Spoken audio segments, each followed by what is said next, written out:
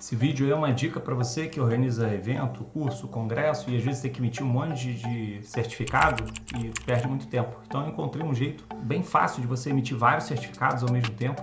Eu vou mostrar aí para vocês. Dá uma olhada no vídeo. Então eu peguei um modelo de certificado.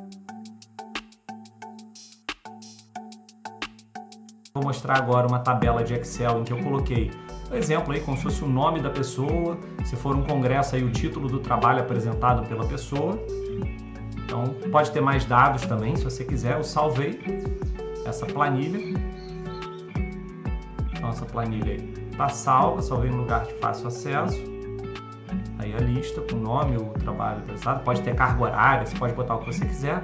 Você vai lá no Word com o teu modelo de certificado, vai selecionar destinatário e usar uma lista existente. Aí você vai lá na, no local onde está o arquivo, com Excel, vai selecionar a tua lista, vai abrir,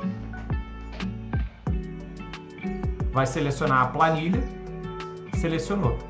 Aí você vai marcar ali o campo que você quer que modifique, seja inserido para criar vários certificados ou outras coisas. E ali no campo de mesclagem você vai selecionar o campo que está na tabela de Excel, né? O a coluna. Você vai ver que aparece esses dois tracinhos e no título do trabalho eu vou botar inserir campo de mesclagem, título do trabalho. Beleza. Aí agora é só você ir em concluir e mesclar, editar documentos, todos. Pronto, ele vai gerar.